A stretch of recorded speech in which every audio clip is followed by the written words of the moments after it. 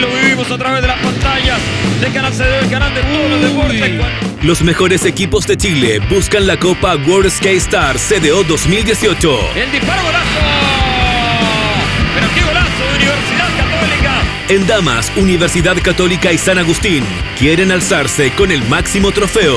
¡Era! Y en varones, Estudiantil San Miguel y Universidad Católica lucharán por el título en un duelo lleno de emociones.